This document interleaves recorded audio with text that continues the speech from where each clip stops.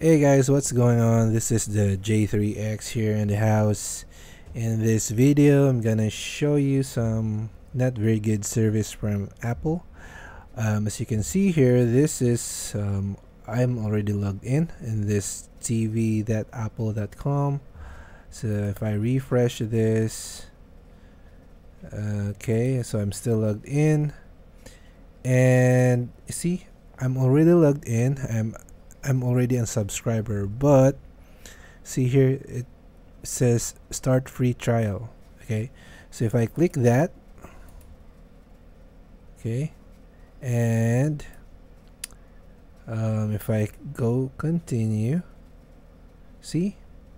If I if I confirm this uh, it will show my email address which is I'm not going to show you but if I confirm this it will say that I'm already a subscriber so how can I watch this now?